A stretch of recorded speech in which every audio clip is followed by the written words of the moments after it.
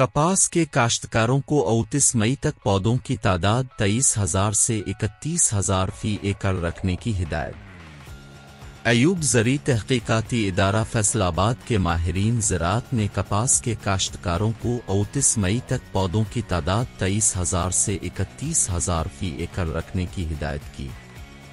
माहरीन ज़रात ने कहा कि काश्तकार कपास की दूसरी मंजूर शदा बीटी अकसाम का इंतखब अपने इलाके ज़मीन की कस्म, पानी की दस्तियाबी और महकमा ज़रात तोसी के मकामी अमले के मशवरा से जबकि बीटी अकसाम के साथ 10 फ़ीसद रकबा नान बीटी अकसाम भी काश्त करें ताकि हमला आवर सुंडियों में बीटी अकसाम के खिलाफ कुत मुदाफत पैदा हो सके। अगर बीज का उगाव पिछहत्तर फ़ीसद ज़्यादा हो तो काश्त के लिए बरोतरा हुआ 6 किलोग्राम, जबकि बरदार बीज 8 किलोग्राम फ़ी एकड़ इस्तेमाल करें। नीज काश्तकार बुआई से कबल बीज को मुनासिब कीड़े मार दवाई लगा ले। टिक्का फ़सल एक माह तक रस चूसने वाले कीड़ों बिलखसूस सफ़ेद मक्खी के हमले से महफूज रहे। उन्होंने कहा कि काश्तकार बीज को बीमारियों से बचाने के लिए मुनासिब फपूंदी किश जहर भी लगा लें। और कपास की काश्त तरजहा पटरियों पर करें।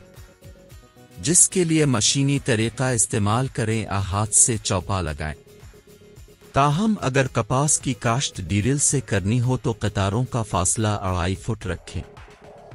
और जब पौधों का कद एक से दो फुट हो जाए तो पौधों की एक लाइन छोड़कर दूसरी लाइन पर मिट्टी चढ़ा दें और कपास की काश्त तरजहा पटरियों पर करें। उन्होंने कहा कि पटरियों पर काशत्ता फ़सल में जड़ी बूटियों का इंसदाद आसान, खादों का इस्तेमाल बेहतर, पानी और बारिशों से होने वाले नुकसान से भी बचत होती है। उन्होंने कहा कि डीरिल से काश्त फ़सल के लिए पहली आबपाशी बुआई के 30 ता 35 दिन बाद और बकिया 12 से 15 दिन के वक्फे से करें। जबकि पटरियों पर काश्त फ़सल के लिए बुआई के बाद पहला पानी तीन ता चार दिन, दूसरा तीसरा और चौथा पानी ता सात दिन के वक्फे से और बकिया पानी बारह दिन के वक्फे से हसब ज़रूरत लगान।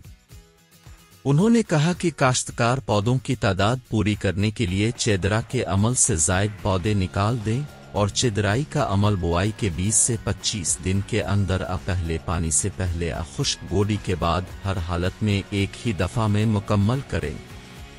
उन्होंने कहा कि काश्तकार कमज़ोर ज़मीन में पौने दो बोरी डीएपी डेढ़ बोरी एसओपी और साढ़े तीन बोरी यूरिया फ़ी एकड़, जबकि दरमियानी ज़मीन में डेढ़ बोरी डीएपी डेढ़ बोरी एसओपी और सवा तीन बोरी यूरिया फ़ी एकड़ इस्तेमाल करें। इसी तरह जरखेज ज़मीन में सवा बोरी डीएपी और तीन बोरी यूरिया फ़ी एकड़ डाली जाए।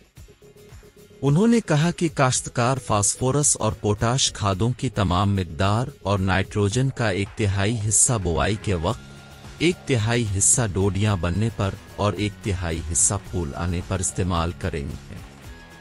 जिंक और बोरान की कमी की सूरत में जिंक सल्फेट 33 फ़ीसद बहिसाब 5 किलोग्राम और जिंक सल्फेट 21 फ़ीसद बहिसाब 10 किलोग्राम फ़ी एकड़, और बोरिक एसिड 17 फ़ीसद बहिसाब दो, पाँच कलबिग्राम अबोरेक्स ग्यारह फ़ीसद तीन अशारिया पाँच किलोग्राम फ़ी एकड़ बवक बुआई इस्तेमाल करें।